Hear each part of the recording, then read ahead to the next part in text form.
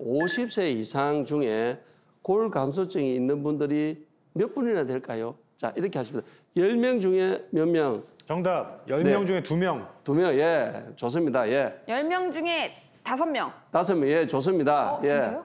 저 10명 중에 한 네다섯 명될 것 같아요. 네다섯 명, 예, 그렇게 좋습니다. 많아요? 정답은 5명 맞습니다. 10명 중에 다섯 명, 50%. 10명, 다섯 명입니다. 와, 생각보다 그래프를 한번 많네요. 보여드리겠습니다. 와. 네. 이거는 어, 대한골대사학회에서 2023년에 팩트시트로 만들어낸 건데요. 이 연구는 30. 2008년도부터 2010년도까지 국민건강영양조사 자료에서 나온 데이터입니다. 네. 데이터인데 딱 보시면 여성의 경우에는 48.9% 그죠? 자 그럼 여기서 또 질문 하나 내겠습니다. 남자, 남자. 남자? 남자는 남자? 어떨까요? 남자는 남자? 별로 저희는 그래도 네. 좀더 낫지 않을까요 여성분들보다는? 맞아요. 저도 그렇게 네, 예. 생각합니다. 한번 보여주시겠어요? 어, 뭐야? 어, 생각보다 많네요. 남자분도 와. 46.8%입니다. 남자도요? 예. 감소증이 그렇다는 말씀이시죠? 골 감소. 골 감소증은 남녀가 비슷해요. 와. 자, 그런데 여기서 중요하게 봐야 되는 게 네. 골 다공증의 비율입니다. 오, 확 주네. 여성은 47.3%, 남성은 7.5%. 자, 그런데 골 다공증과 골 감소증이 왜 위험할까요? 골절. 왜 위험할까요? 자, 그럴까요? 골절. 위험한 이유는 네.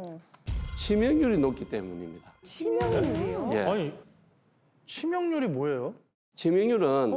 어떠한 질환에 있어서의 사망자 수를 나눈 비율입니다. 네. 사진 한번 볼까요? 고관절 골절 후에 1년 내 치명률, 사망률, 즉 치명률이 되겠습니다. 남성은 24.2%, 여성은 치명률이 15.7%. 와, 남자. 남성의 치명률이 여성의 치명률보다 높아요. 한 1.5배 정도 어. 높습니다. 아니 남성이 24.2%면 거의 10명 중에 2명 꼴인데 예. 보통 골다공증 하면은 여성들이 더 위험할 것 같거든요. 네. 근데 왜 치명률은 남성들이 높은 거예요? 예, 맞습니다. 그래서 저희들이 이런 데 대한 연구를 굉장히 많이 해봤는데 이 고관절 골절이 발생한 남성분들이 여성분들에 비해서 가지고 있는 기저질환이 더 나쁘고 많았습니다. 아. 자, 이제 고관절 골절이 있으신 분들을 가만히 보면 누워 계시는 경우가 많습니다. 네. 그러면 욕창도 생기죠. 음. 그다음에 폐렴도 잘 생깁니다. 네.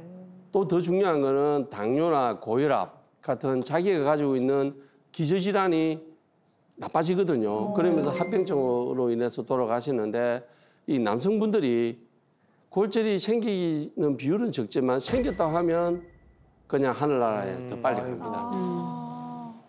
그러면 지킬 박사님, 저도 지금 뭐 건강하다고 자신하지만 나이가 들면은 골다공증이 생길까요? 우리가 젊어서부터 얼마나 잘 관리하느냐에 따라서 달라집니다. 우리의 뼈는 끊임없이 만들어지고 없어지고 만들어지고 없어지고 합니다. 어, 제일 처음에 뼈가 만들어지고 나서 좀 손상은 있거든요. 그러면 파골세포라는 세포가 막 흡수를 하면 뒤에 조골세포가 따라가서 뼈를 만들어주는데 일년에 약한 10%, 10년 뒤에면 내 몸에 있는 모든 뼈가 한번 싹 교체가 일어납니다. 그러면요. 이 뼈 안에도 세포들이 참 바쁘게 살잖아요. 네. 근데 왜 10년 주기로 새로운 뼈가 생성이 되는데 그럼 왜 골다공증에 걸리게 되는 거죠? 그림을 한번 딱 보면 알 수 있는데 네. 바로 이 그림입니다. 이 그림 보시면 남녀가 다 최대 골량을 30대에 가득 채웁니다. 그 다음부터 쭉 감소되는데 특히 여성분들은 50대가 되면 완경기가 되면서 갑자기 골 감소가 일어나거든요. 왜 그러느냐? 완경기가 되면 우리 몸에서 여성 호르몬이 갑자기 줄어듭니다. 여성 호르몬은 파골세포가 막 자기 마음대로 하는 걸 잡아줘요. 어, 니 이러면 안 돼. 이러면 안 돼.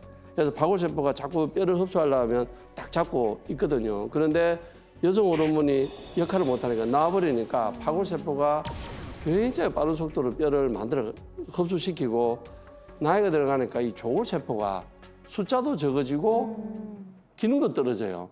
만드는 거는 시들시들하고 흡수는 빨라지고 이렇게 되니까 골다공증이 갑자기 확 생기게 됩니다. 보시면 이거는 우리나라의 2023년에 국민건강 본 공단 자료가 되겠습니다. 작년 1년 동안에 골다공증으로 진료받은 환자의 107만 명이 여성입니다. 남성은 6만 5천 명이고 그러면 94% 정도가 여성이거든요. 그만큼 왕경계 저우들은 여성들이 급격하게 골량이 감소되기 때문에 골다공증으로 진료를 많이 받게 됩니다. 선생님 제가 젊었을 때는 사서 사이즈 엄청 말랐었거든요. 네. 그게 골다공증과 관련이 있을까요? 우리가 이런 속설을 가지고 있습니다. 여인 사람은 골다공증에 잘 걸리고 뚱뚱한 사람은 골다공증은 안 걸리는데 관절염에 잘 걸린다. 그렇거든요. 네. 그런데 뚱뚱한 사람들은 뼈 무게가 많이 나가요. 왜 그러냐면 체중이 많이 나가니까 뼈가 이렇게 걸을 때마다 뼈가 다져지거든요. 또 하나 이 피하 지방에 있는 에스트로겐, 파골세포의 기능을 딱 잡아주거든요. 그러니까 뼈가 튼튼합니다. 자 그러면 어 뚱뚱한 사람이 골다공증이 잘 안 생긴다고 할 수 있잖아요. 네. 그런데 또 역설이 있어요. 나이가 들어가면 뚱뚱하면 만성염증을 앓습니다. 만성염증을 앓게 되면 뼈가 약해지거든요. 또 그리고 넘어지면 날씬한 사람들은 살짝 넘어졌다 살짝 일어나는데 아 우리 같은 사람들은 넘어지면 내 몸무게가 내 뼈를 눌러요. 그러면 골절이 더 잘 생기잖아요. 그죠? 그러니까 너무 과체중은 잘 넘어지기도 하고 골절도 잘 생기기 때문에 또 안 좋습니다. 자 그러면 답 나왔죠? 예. 어떻게 하면 되겠습니까? 적정 체중을 유지하는 게 좋을 것 같습니다. 네, 맞습니다. 예, 박사 되셨군요. 예, 그렇게 하면 됩니다. 예. 그럼 저는 골다공증으로 다시 가지 않으려면 어떻게 관리해야 될까요? 중요하죠. 네. 잘 드셔야 됩니다. 잘 먹어야 잘 드셔야 돼요. 그러면 요즘 어떻게 드시고 계신지 저희가 삼시세끼 식단 사진을 가져왔거든요. 한번 볼까요? 네. 어, 최진선님의 식단이에요. 아침에는 커피랑 과일류 드시는 네. 것 같고요. 점심에는 한식으로 정말 건강하게 네. 챙겨 드시네요. 어, 단백질도 맛있겠다. 많고. 네, 저녁 때도 뭐 잡곡밥에 막 네. 반찬들도 굉장히 건강한 오. 것들인데요. 문제가 있을까요?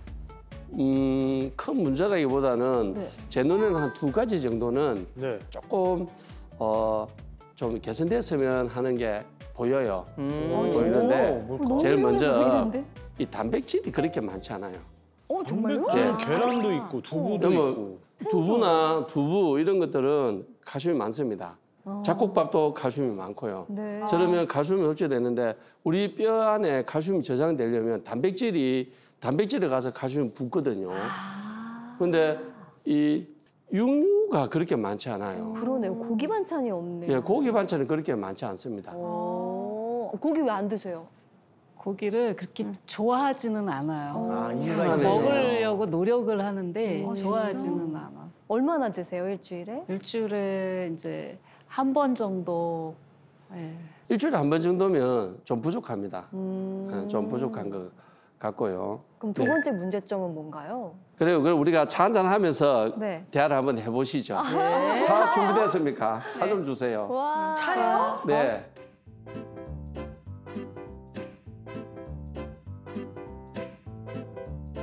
자, 지킬 박사님이 쏘시는 거니까 잘 마시겠습니다. 네. 아, 저 진짜 먹고 싶었는데. 아, 보니까. 이거죠. 한여름엔 아예요. 음. 아 시원해.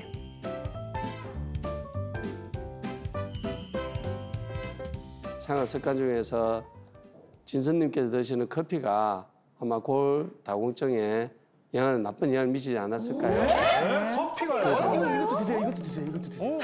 아니 왜 커피 주시면서 그 말씀하세요? 어쩐지 선생님은 안 드시더라. 아, 정확하게는 커피가 아니고 예. 카페인이 문제입니다. 아, 카페인. 네, 우리가 커피를 많이 드시면 몸속에서 카페인이 빠져나가면서 칼슘을 같이 달고 나가거든요. 네, 그래서 그렇습니다. 아니 그런데 왜 저희에게는 커피를 주신 거죠? 디카페인입니다. 아 그랬구나. 디카페인이. 있었구나. 그렇기 때문에 커피를 그래도 안 드실 수는 없잖아요. 네. 하루 한 잔씩 딱 조절하시면 되겠습니다.